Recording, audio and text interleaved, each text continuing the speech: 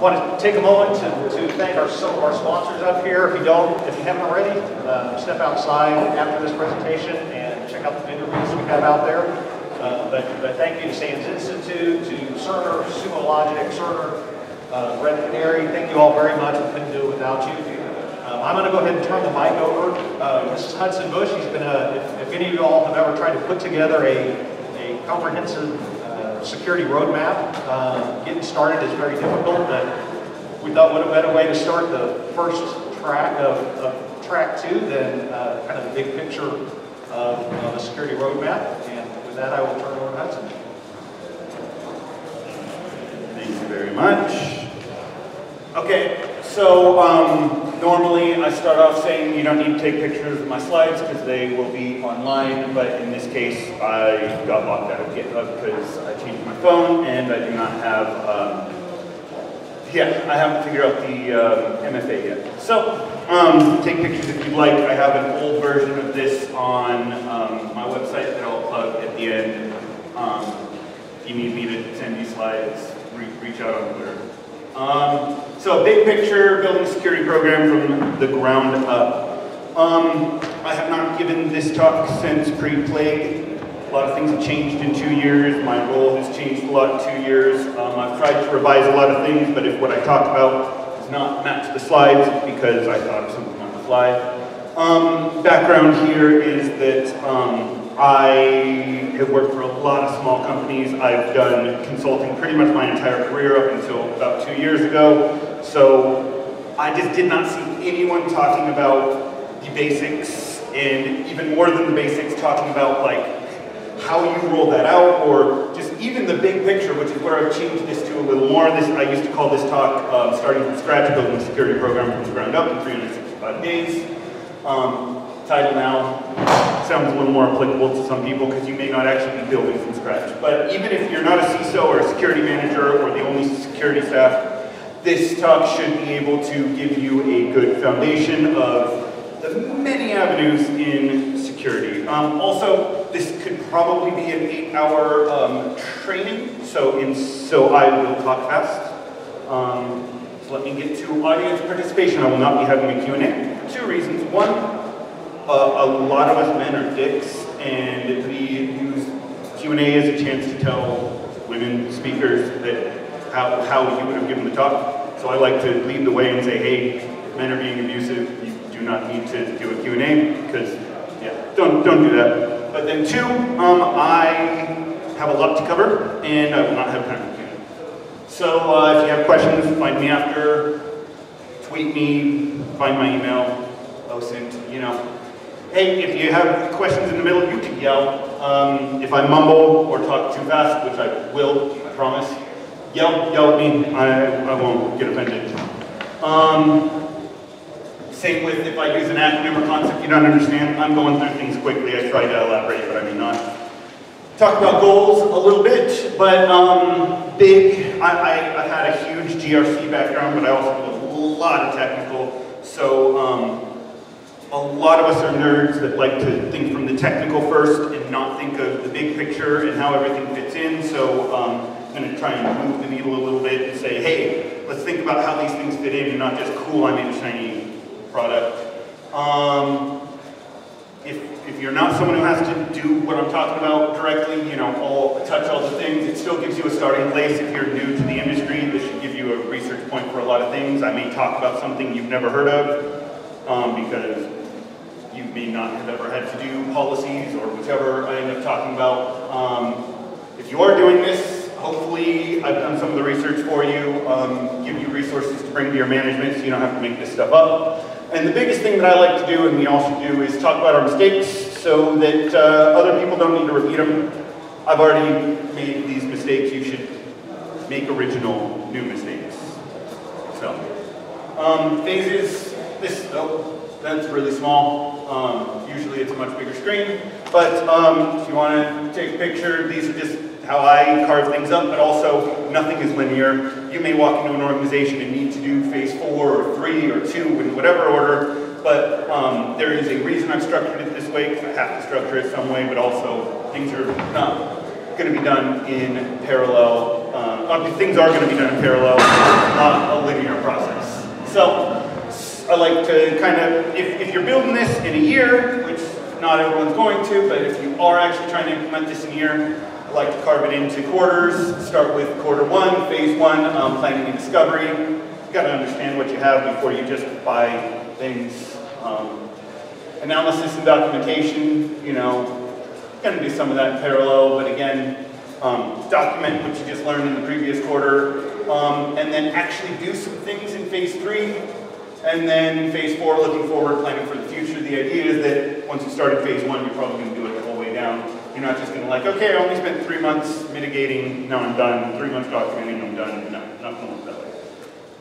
So, phase one, planning and discovery. Um, there's a reason that um, asset management is, you know, the beginning and one of the core things of um, CIS. It's, you can't secure what you don't know.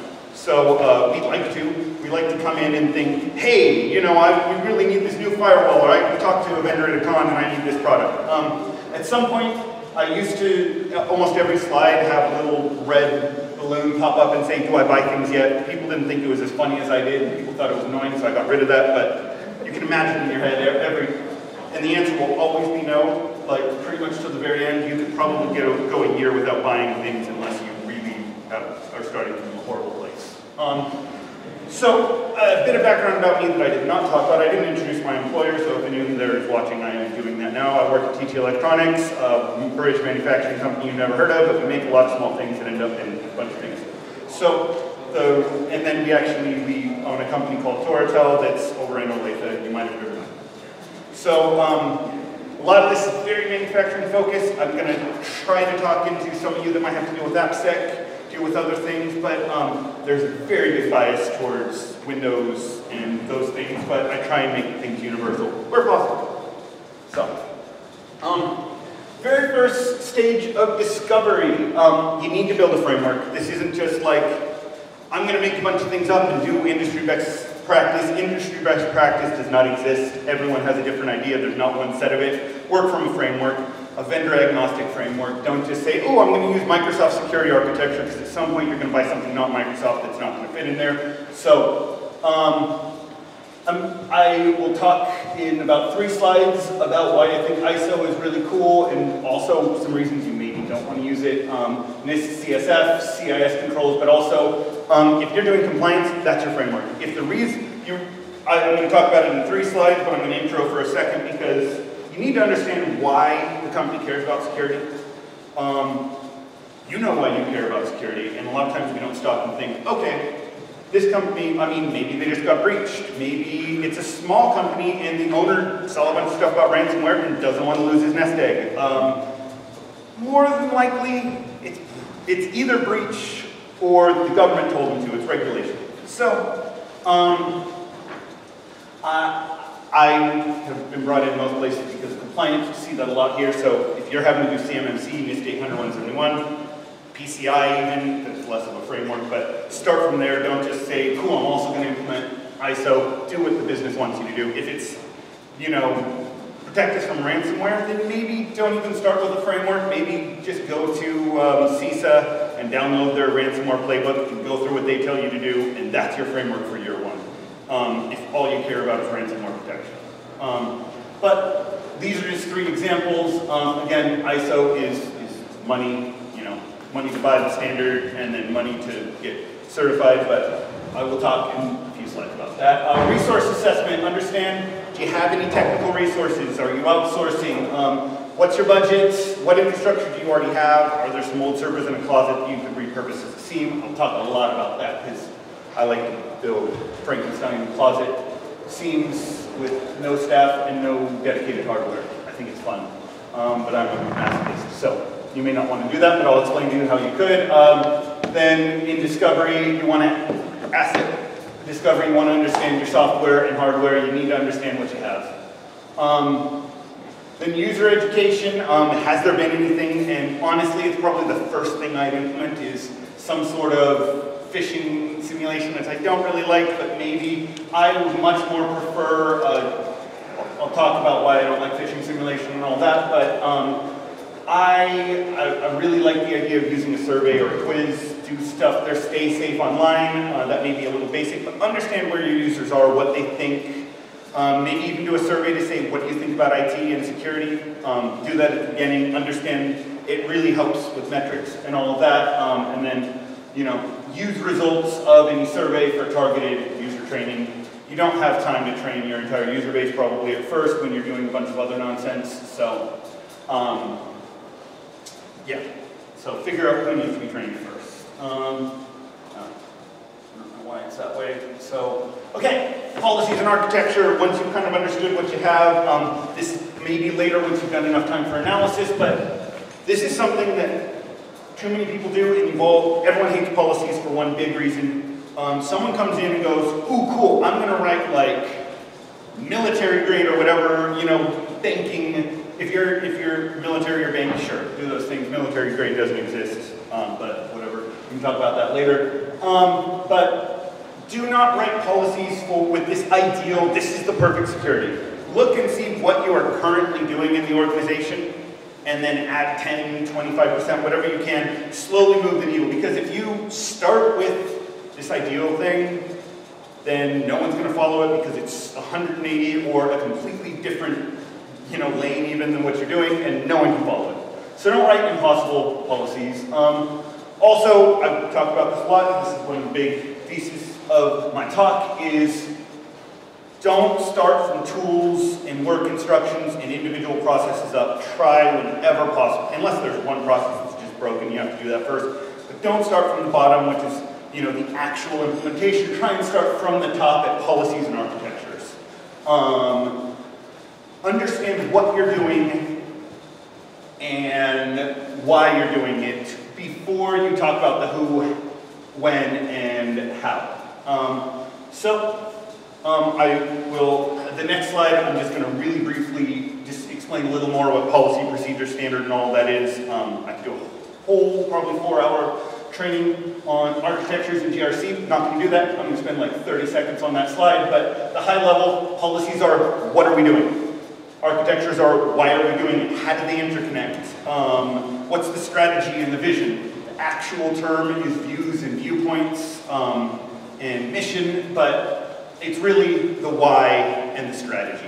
It's not, hey, we click this button on our security email gateway on our spam filter. It's more, how does this spam filter fit in with our bigger picture and what do we want it to do? And then the policies are, if you have an exception, how you manage that, not just Someone says, I can't get email from Raytheon. Okay, whitelist all emails from Raytheon, don't do that. Write your policies and procedures to understand that and start from the beginning. Um, and then I like, so policies are what? Go down to architectures, which are why. Procedures are your how. These are work instructions, these are, they can even, you know, where we are currently, we have policy, procedure, then work instruction, um, and they find each other down there, but most people, a procedure is also a work instruction. Now, most people will write a project plan that it has Gantt and has all of those um, who. That's not what I mean by resource plan here. I mean, do we have any resources? Are we borrowing from IT? Are we using shadow IT for these things because you may be the only security person? Um, so resource plan is, these are the 12 security domains, uh, not .com domains, but you know, lanes, you know, access control, IAM, all those different things. These are who is responsible for these things, how are you resourcing it, what is your budget, and then next is roadmap. We want to do roadmap first, but we can't until we understand what, why, how, and who, when we do the when, and even the, the individual, the specific. This what is, you know, how, that we need to protect against ransomware. There's a specific what down here, which is technical controls. Now, roadmap comes later, probably three, six, nine months in, not immediately. So this is, like I said, I'm going to talk about this for seconds, but um, I have a link to it. This is um, Compliance Forge. Um, it's their, um, I think they call it their governance framework. Google it. Um, but if you're having to write policies, I mean, if you are not a technical writer, have someone else do this. Don't learn a new skill, find someone in legal or hire an intern, something like that that can do this, but it's really key, you know, your policies, your objectives, your standards, guidelines, and this is really good because we want to start with like secure baseline configs, but we need to know standards before we do that.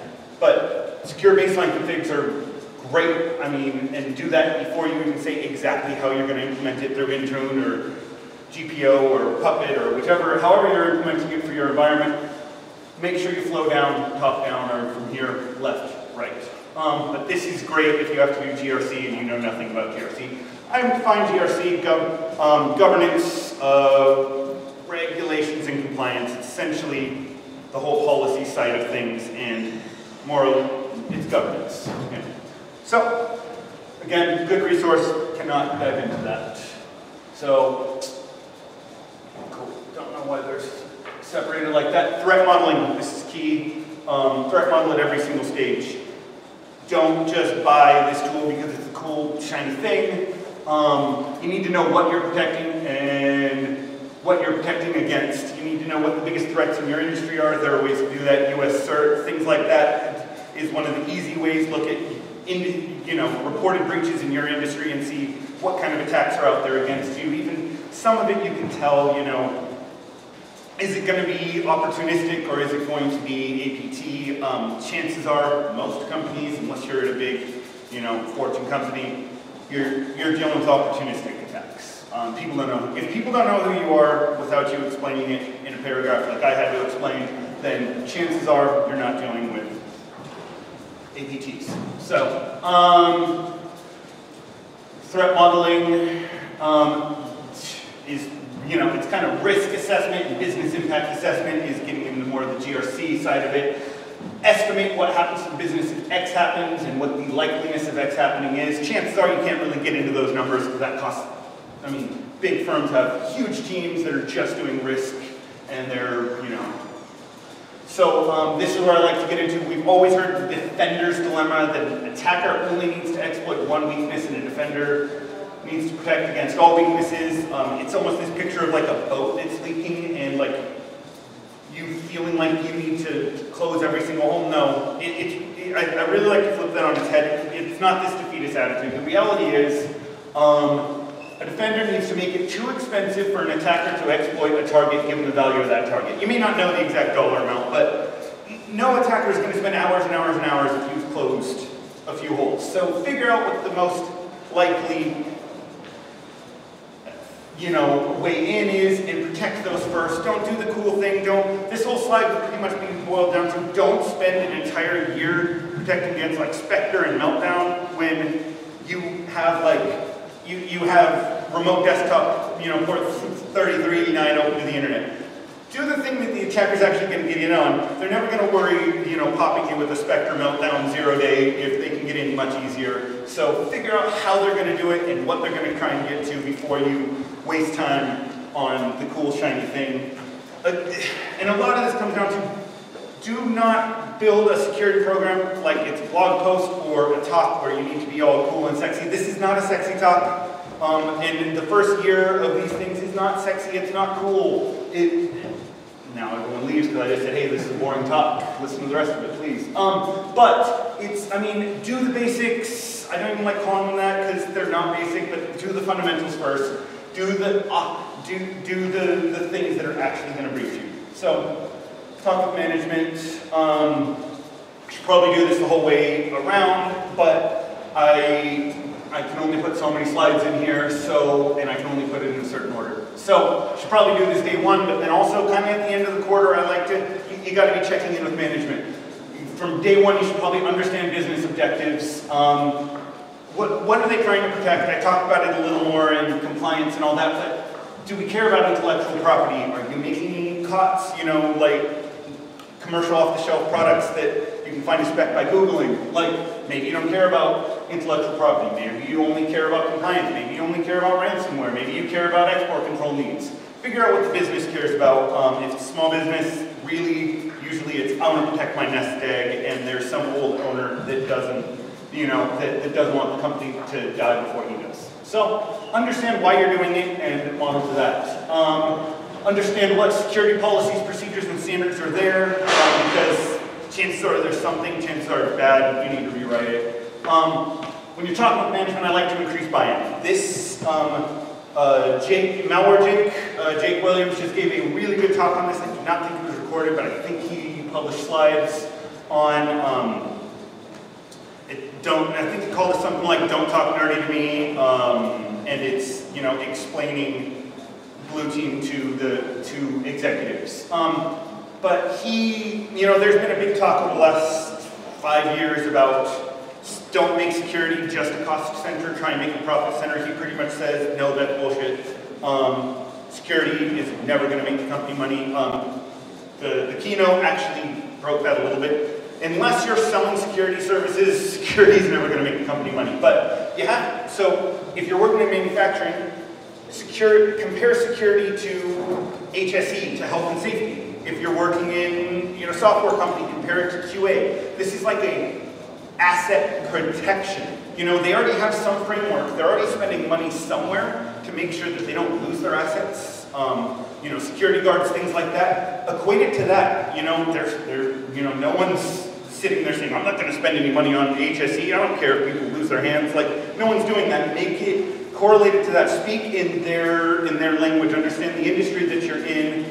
Like I said, it's software QA because, you know, you don't want to introduce huge bugs and bring things down. If it's, you know, health and safety, cool. Whatever that makes sense. You can um, pitch security. The, the way to pitch security is a bit of a, a bit of a profit center is the shifting left. I hate buzzwords, but the idea of, so it's why I'm going to talk about the ISO stuff again.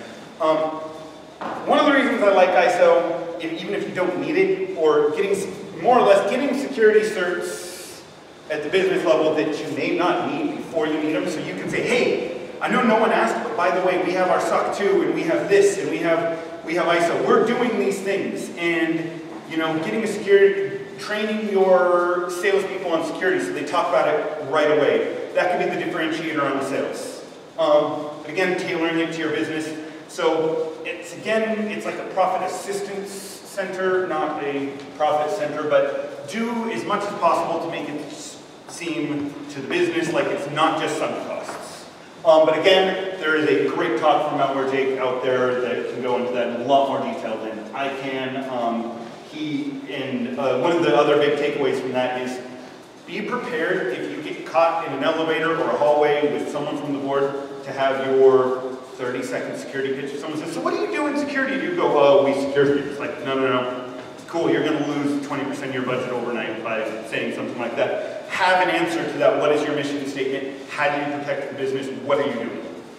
Um, you know, as soon as possible, you need to talk costs and resource issues because chances are you came in and there is the budget's already fine for the year, so see if you can sneak a little bit of budget in here or there because you've probably identified a few things that need to be uh, replaced immediately. I think I have a slide and like two slides talking about that. Um, so, phase two, analysis and documentation. I've talked about doing some of it, but this is where all the resources and the information you've gathered from phase one, you start documenting it. Um, policies could probably go in here too, but vulnerabilities. Um, this somewhat of an easy win. I don't like to say easy win, but um, now that you've understood what's out there, understand what vulnerabilities you have, you may not have a vulnerability scanner, so use Shodan um, to scan your external vulnerabilities. Um, you may just have to do it manually, but it's also like 60 bucks a month to pay for, or maybe even less, I don't know what it is anymore. It's like 60 bucks a month to pay for the automated stuff. You can probably sneak that in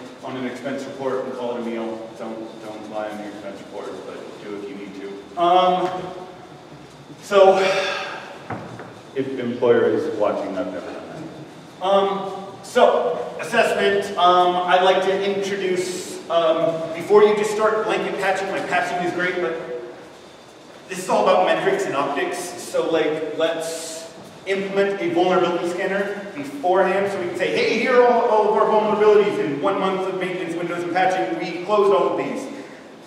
It, yeah, especially, you know, it, you know, you, it's up to you if you consider the, the low ones just so that you can show bigger numbers. You know, this is all. So um, OpenVAS if you're trying to do internal. Um, the reporting is not great. Um, there is some reporting that introduced, if you use VulnWhisperer and ELK, it's kind of out of date, but I think you can still get it to integrate. Um, use, use open source if you have to. If you can't, you, use the big names. I'm going to talk open source because I'm assuming you have no budget, but if, if you, you can Google big vuln scanners or you can talk to someone in the hallway, I'm sure they'll sell you something. If you have budget, um, talk about generating differential reports, that's huge. They want to see, see that you're actually doing something. Talk about Shodan. Um, and, and, you know, prioritize these things. Go from the, you know, go, go from high or even the riskiest things. Don't always just go high because, you know, stuff like, like I was talking about with um, Spectre and Meltdown, those are high, but talk about probability of it actually happening.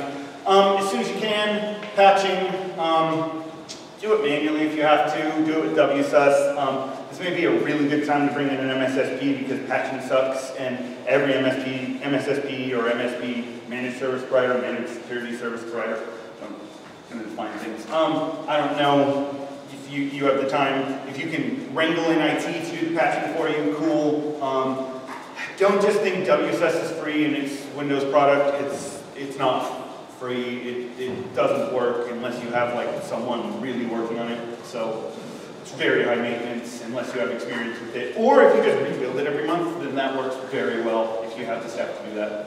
I, I, yeah. The WSUS just breaks randomly. Um, cool. We, we all know about patching, but don't make patching sound simple. And then also, so like I said, I'm talking manufacturing companies, but at this point, like if you're an application company, do not just say, cool, we're going to open up a bug bounty. Don't do this right now. Um, same thing, don't do a pen test right now. Because the thing is, like, my seven-year-old son could probably find out how to hack into you at this point. Um, do, do not spend a bunch of money on pen test unless the board's really asking. Same thing with bug. You don't have the staff at this point to handle a bug bounty or handle the findings from a pen test. Don't, don't do it. You, close some of the gaps before you waste that money. Um, and I guarantee you, board and all that, that people are going to be asking, hey, why didn't you do a pen test yet? Because it's a waste, the pen test red team is a waste of time at this point. It's, you know, a, a, defensive person can tell you where the gaps are. Wait until you've closed enough of the gaps and have enough of the staff to deal with the findings.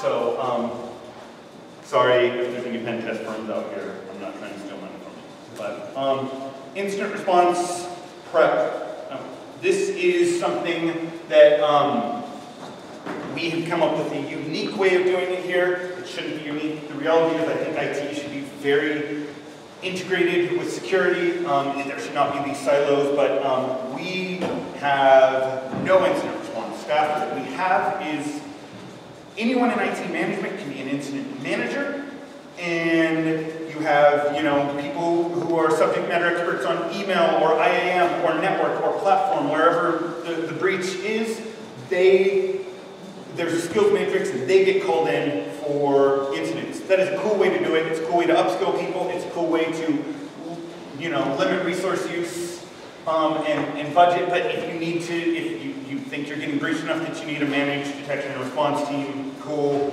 Um, you can also, you know, have a retainer with FireEye, Mandiant, Dragos, whoever you're, um, you know, whatever industry you're in. So, um, but yeah, so we have, our CERT team is very screened and distributed, but um, that is a cool model. Make sure you have policies, procedures, playbooks, work instructions. There are a lot out there. The Scottish Government has some really cool ones. Actually, um, CISA has some good ones. Um, you're, if, if you are in you know, certain industries, there's a CERT or an ISAC that will probably give you a specific one for your industry, oil and gas, all that. There's a bunch of ones, especially for government. There's probably specific tailored ones for you. But um, also understand breach reporting. Um, talk to legal about this and compliance um, requirements, you know, privacy breaches and all that. There's, you know, CCPA and GDPR, but then, um, you know, there's with CMMC, which is in the military, you know, supply chain space, it's like 72 hours after a detected breach, you have to talk to the FBI. Define who talks to the FBI. I don't talk to the FBI. If you need something special that um, to report, like CMMC and DFARS and all that, you need to have a certificate so that you can upload it to the portal. Make sure you have that well in advance. Test these things. Um,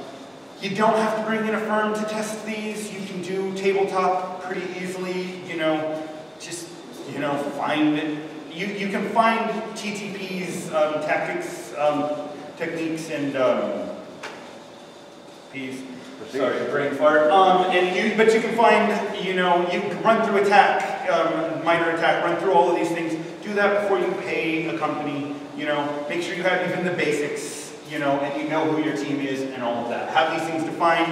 Have people's phone numbers so you can call them. Have know their time zones. Don't, you know, count on people being available at certain times. We're a global team, so we have one for each region. And if we don't have someone in a region, then people have to kind of Okay, cool. I do agree to get called at midnight and, you know, have those things? Have toil time, which is time off in lieu of. Have those things set up. If you're borrowing people from their normal job, please give the chance to, if your incident responder has worked like three weeks straight without, um, without sleep, give them some amount of time off and compensation. Don't just pay them in pizza, that's not enough. Um, change management. Not necessarily your job, but um, it will be if it doesn't happen. So um, make sure the organization is implementing change management with peer review, please. Not just someone recommended a change, they talked to some manager and this got approved, like require peer review. And not just peer review that says, I agree. Like that's not enough. Have a real peer review system. There have been times, you know, that I have seen an alert come in at midnight and gone and investigated and we have a new global admin there was a change requests that I wasn't, uh, a global admin on Office 365, there was change that I wasn't aware of to add a consultant in for that reason. Also, probably don't get global admin if you don't need to. I'll talk about principle of least privilege in a second, but yeah, um, change management, you need to do it, and peer review is great because there, there are security risks that you not be, may not be aware of. Um, even track changes that you don't think require approvals, this would be called a normal change. Establish procedures for normal changes, things like database, database failover, and little things that may happen all the time, but track them if you can. If you just track them as tickets, cool, but track every change that you can feasibly do. Um, if you don't have your help desk, you may have a system for it. If you don't, use a Google form, use Excel, use the use the intranet or SharePoint if you have that kind of stuff don't, don't, you can buy something right away if you aren't using it, but like Excel is, you know, good enough for almost everything we need to do here. Um, phase three, mitigation and remediation. Again, you may discover something right away with a vulnerability that you need to patch day one because you discovered that something hadn't been patched in some amount of years, some system that didn't exist or that no one knew existed. Um, but um, this is when I really think you should start remediation, but you may find some obvious ones. Um, discovery for least privilege. Um, you can use PowerShell to discover all sorts of things if you're in Windows environments, but there are other things. Talk to people. We, uh, I worked with an organization years and years ago where um, the domain administrator password was like common knowledge, but we couldn't change it because it was common knowledge. So literally set up right in front of the building, and every person that walked in, you kind of just asked, hey, um, I forgot the admin password, can you give it to me? Kind of wrote down everyone's name, figured out how many people, and then started working with those people. That is, hopefully you don't have to do that, um, but yeah. Um, I also worked in a, a, a, place when I was doing merger and acquisition where they had um, domain users and domain admins. Don't do that, fix that right away. The reason for that one was that what if someone needs to remote desktop over the VPN to their computer? Okay, there's a lot easier ways to do that. Even just remote desktop users, but there are ways to do that through privileged delegation. Just look up Active Directory delegation. Don't, don't do that. Um, so talk to people about those things. Um, there's PowerShell scripts for discovery. There's Bloodhound and Pingcastle, which will tell you a lot of these things. Um, too much information. And do not blindly implement everything that Pingcastle recommends, like right away. You will break things do like one, two, three feeds at a time. Do it slowly so you know what broke what. You will break things, um, definitely speaking from experience. Um, you have a lot of local admin. You won't know why. Uh, if you have engineering or software development staff, they need it because SolidWorks or something um, requires it and something breaks. You can use Procmon, um, sysinternals tool on Windows to see what process that's failing on, and it is great. Um, reduction of privileged AD accounts, uh, you're going to have like nine, at least from my experience, you're going to have like nine disabled accounts for whatever reason in still in domain admins. Remove those immediately. They don't need to be there. That's an easy way. Um, report on these metrics. Report on every metric that you can through this. Um, I can also, I have given an eight hour talk on just Active Directory security, and I talked for like two hours on least privilege, so um, talked for a long time about this. Easy wins. I don't like using the word easy, but um, yeah. That go, Okay. So, um, firewall rule closures, figure out, you're gonna have all sorts of stupid rules. Do those right away, figure out how to move, you know, things from port 3389 to using VPN or something like Zscaler if you're using it. Um, session lockout, chances are people can stay logged in forever. Implement a session lockout, these are pretty easy. Pre-logon advisory, your legal team will love you, but you won't care too much. These are easy things you can do without too much anger. Do not implement five-minute session logouts every, or honestly, even 15 minutes can really piss people off sometimes because every time I sneeze, my computer locks out. You know, figure it out maybe move it down slowly. If people are used to leaving their computer open for hours and hours at a time, do it slowly. Account auditing, um, you're going to have hundreds of accounts that don't, um, that haven't been logged into in forever. There's a lot of ways to detect that. To that, work with HR to figure out what you can remove. Have some sort of um, permission review quarterly. Work on that. Change service account and admin passwords. That's not an easy win. That's very difficult for service accounts, but do it. Use managed service accounts, group managed service accounts in Windows. Do it. That's a huge win. A service account is domain admin and has been used. Hopefully, at this point, it's not domain admin anymore. You can. Um, Sean Metcalf has a really good blog on how to um, reduce service account permissions, but like change the passwords, please.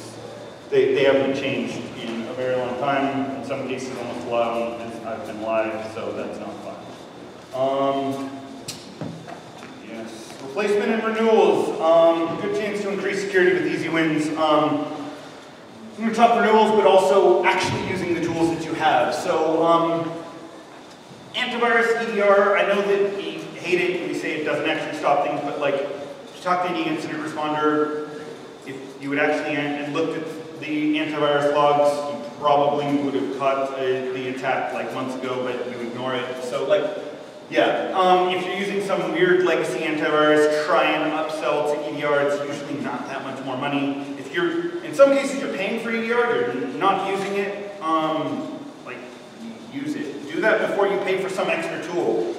You know, before you get some SIEM. If you're not actually looking at your EDR logs, you're not looking at these things, you're not actioning them, then um, yeah, don't pay for something until you're using what you have. Um, network refresh, you, you, know, I've worked at places that have 20-year-old ASAs.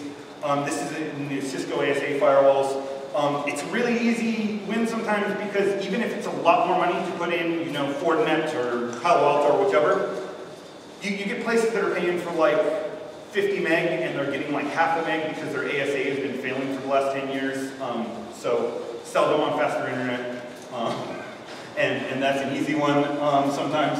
Uh, you may have really old consumer grade wireless access points. I've seen this way too many times. Replace those with ones with radius and people will love you again because you'll speed up their wireless.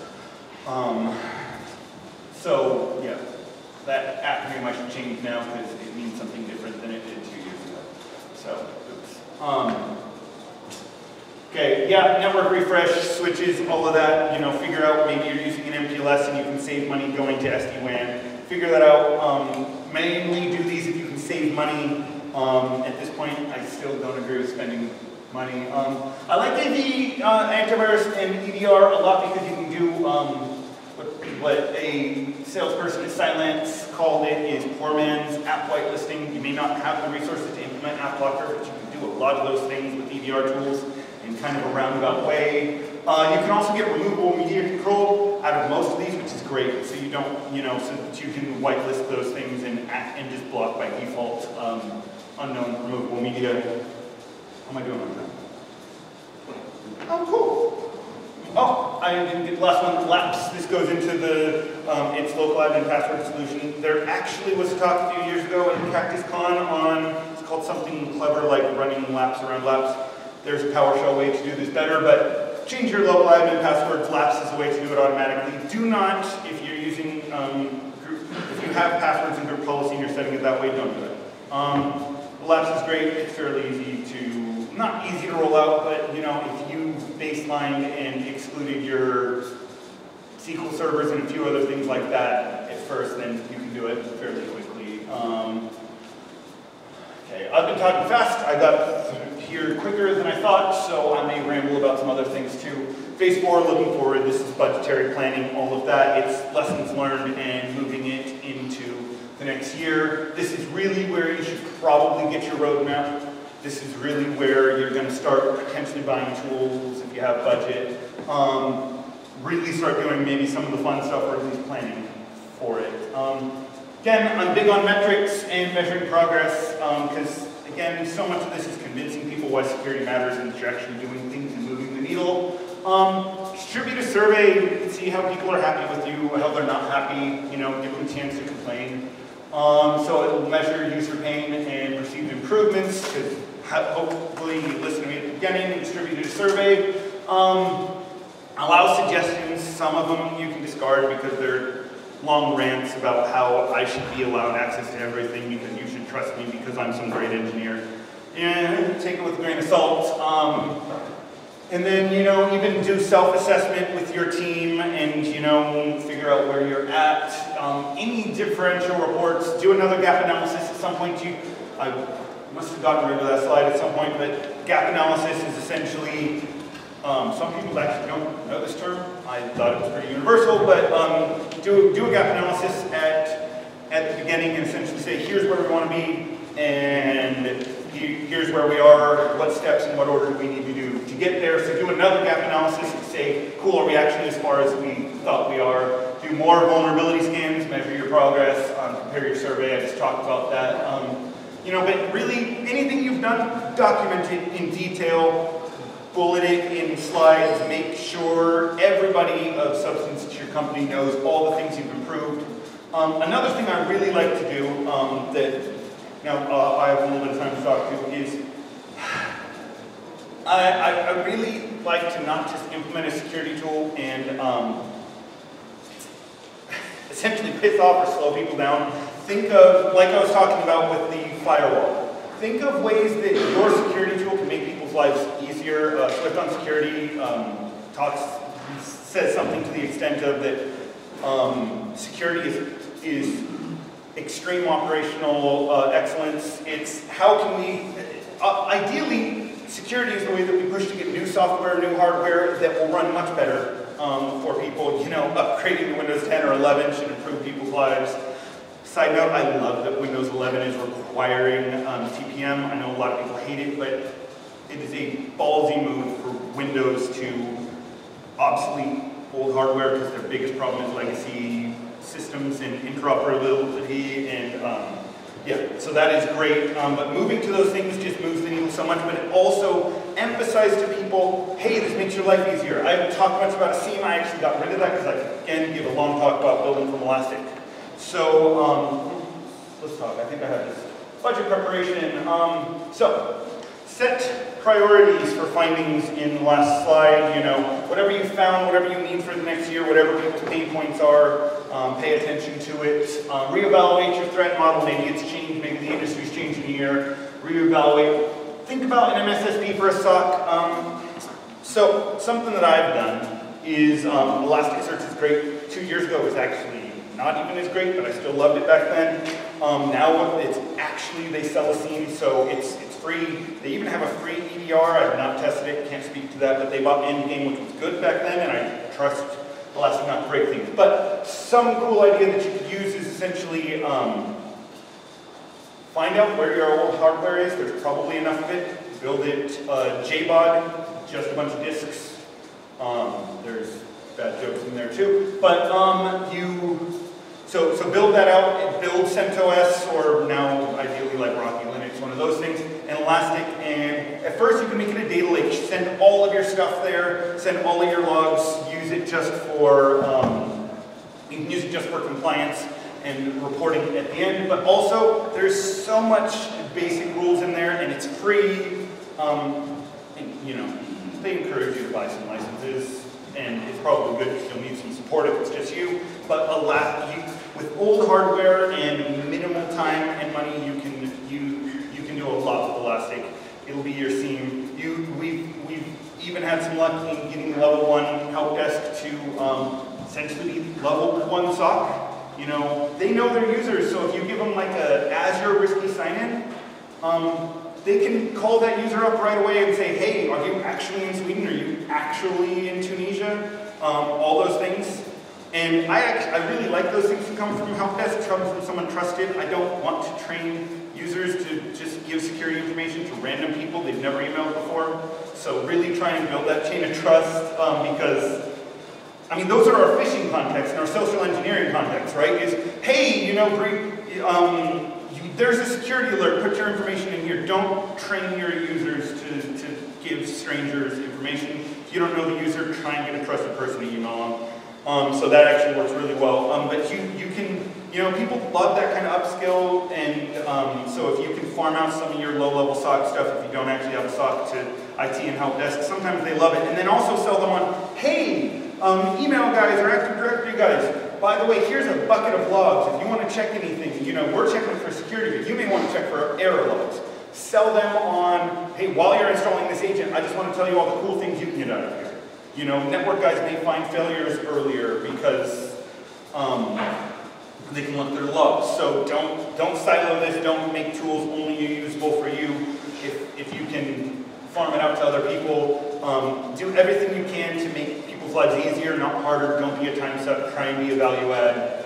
Um, but you may just at this point say, hey, this SOC stuff, this security operations stuff is hard. Let's go to an MSSP. Um, find a good one.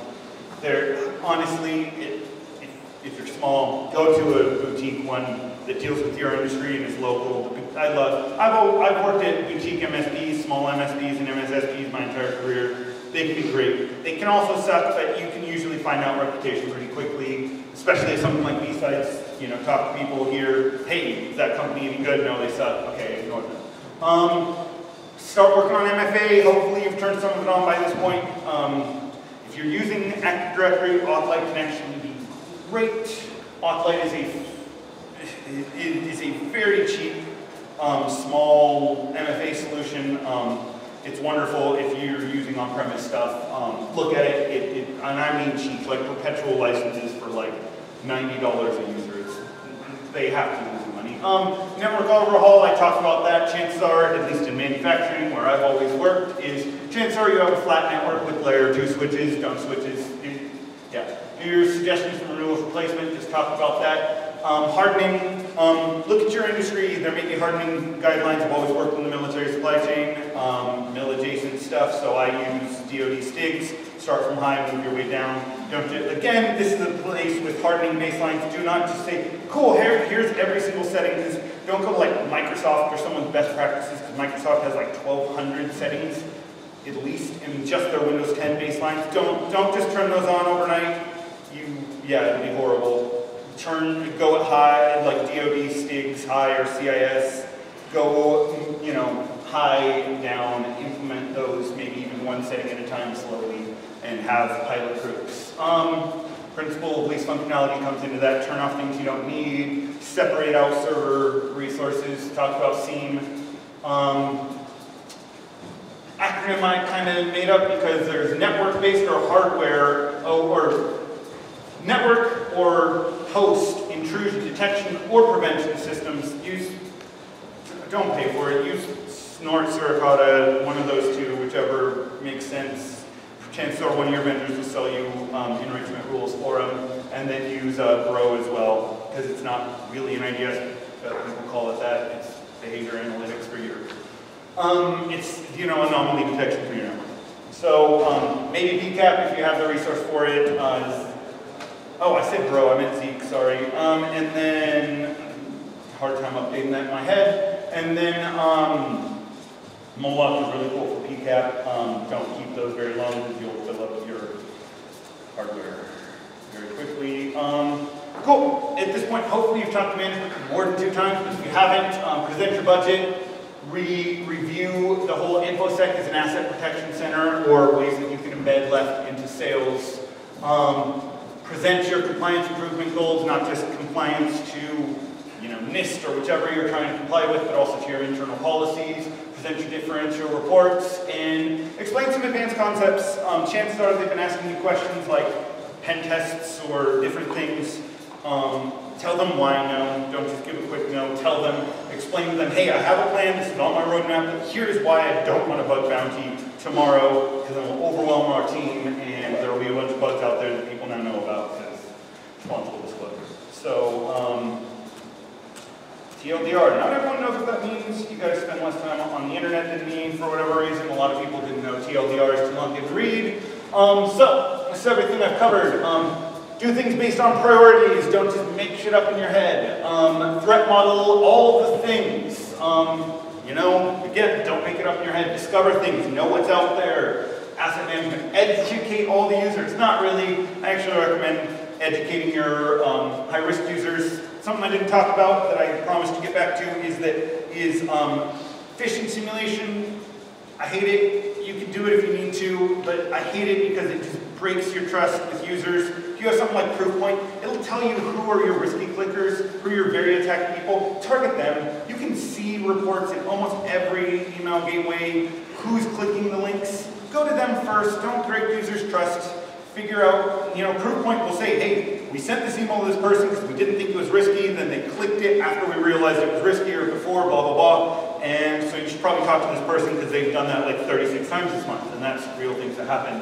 Um, so, yeah, to try not to do anything that breaks trust with your users, don't lie to them. I, I just, I, there, there are ways to do phishing training well. Also, don't just turn on uh, before with every rule. I've heard horror stories there's one in there that's like, talk to HR because you, have got uh, you, you've been accused of sexual harassment. That's a really good way to never be able to do phishing simulation again and know, yeah, it, it went to like a head of sales or something um, and they went and yelled and said, why are you accusing me of this? I've never, blah, blah, blah. And then, which, if someone's that defensive, it probably means they did, but that's aside from this. Um, that's probably a good red, red herring there. Um, but don't, don't do things that break users' trust, just don't. Probably to make that a whole slide, because we like to be manipulative and sleazy, don't do it. Um, back up all the things. Um, do it, disaster recovery, business continuity, figure out your RTOs, RPOs. If you don't know all those, hopefully you have a backup team. Um, I like to open source all the things. I think they're great, and I don't always trust vendors. Um, and a lot of times with open source, it's easier to take your data somewhere else because there's more interoperability. Uh, if you have budget, maybe don't. And then buy all the things eventually. hopefully you've listened to me and you have not bought anything this year. Okay, um, resources, um, if you're taking pictures, some of this is outdated. I'll give it a second to take a picture. This is, an older version of this is on my website, which again is in two slides, um, but talks through a bunch of the resources that I mentioned. Um, cool, resources continued. Um, lots of cool things. Um, again, slides online. Implement these free-ish things before you pay money. Um, and then my website, homebrewsec.com forward slash talks. Um, there's one, in, one of these online. Uh, once I figure out how to get into GitHub, I will publish today's talks. Um, there's the hashtag at the bottom. I'll check it if you I guess I didn't intro that at the beginning, but if you have any thoughts on this talk or you've been live tweeting, I hope you tagged it with InfoSec in 365, and then um, you can mean tweet me or subtweet me uh, at, on Twitter, and the conference plug, um, I'm sure you'll probably introduce this, but you know, give feedback. If I didn't explain things and I sucked, let me know. I'd like to improve this. I given this talk a bunch of times, and every time I make changes, so tell me how to make changes, and then conference and.